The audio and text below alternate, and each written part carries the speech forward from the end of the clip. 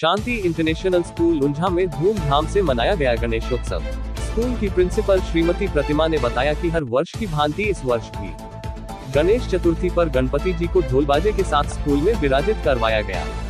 School के शिक्षकों, शिक्षिकाओं व विद्यार्थियों ने नाचते गाते गणपति जी का स्वागत किया और आरती करके उनका आशीर्वाद लिया।